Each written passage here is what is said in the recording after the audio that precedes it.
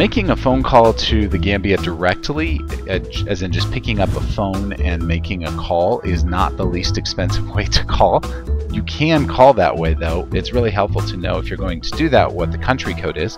The country code for the Gambia is 220. So if you were going to call the Gambia, you would dial 011, then 220, and then the city code, and then the number. But I wouldn't really recommend calling direct. Your phone company will charge you a lot of money. If you want to call a phone number, I really recommend using Skype. We detail how to make free and low cost calls using Skype in other videos. If you want to call your friend's computer, you can also use a few programs that will let you call for free. Of course, if you have Skype and they have Skype, you can call using Skype, and you can click over here to learn more about that if you'd like. If you're on a Mac, you can use FaceTime, and it's possible that FaceTime may be coming for PC in the future as well. But if you're on a Mac and your friend is on a Mac, then you can both use FaceTime either on an iPhone or any other Mac enabled device as long as you both have Wi Fi or an internet connection. And another option, if you're on a cell phone and they're on a cell phone, then you can use something called WhatsApp. And inside of WhatsApp,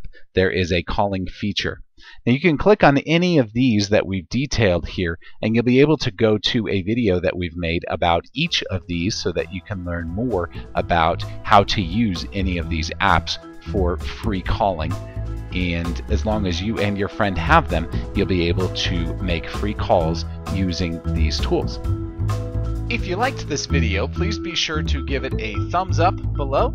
Be sure to subscribe as we have more helpful videos almost every single day. If you have any questions that we can answer for you, please be sure to come and visit us at showmehowtodothis.com.